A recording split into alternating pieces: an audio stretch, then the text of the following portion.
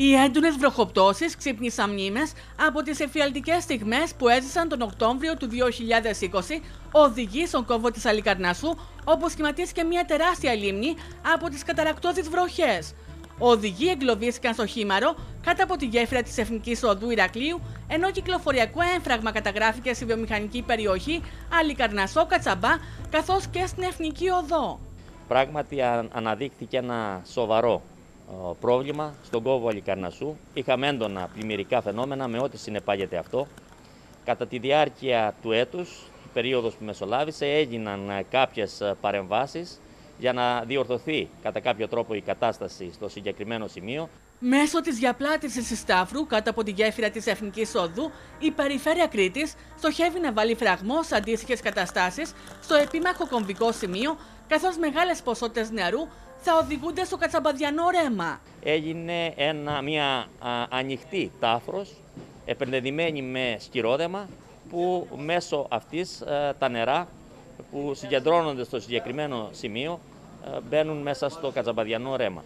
Θέλουμε να πιστεύουμε ότι με αυτές τις παρεμβάσεις δεν θα επαναληφθούν τέτοια φαινόμενα στο συγκεκριμένο σημείο. Ωστόσο, όπως εκτιμά ο Αντώνης Εκέρης, ο κίνδυνος πλημμυρικών καταστάσεων δεν φαίνεται να έχει απομακρυνθεί στην ευρύτερη περιοχή. Στο συγκεκριμένο σημείο, πράγματι αποσυμφοροποιείται ε, σε μια έντονη βροχόπτωση κάτω από τη γέφυρα.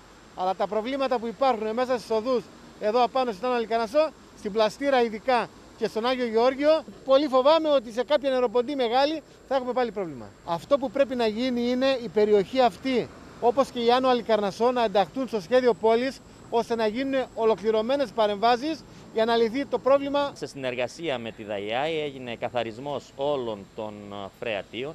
Τοποθετήθηκαν ε, νέες χάρες, φρεάτια από τον κόβο Αλικαρνασού έως και τη λεωφόρου Ικάρου, τον κόμβο ε, Καζατζίδη και Ικάρου.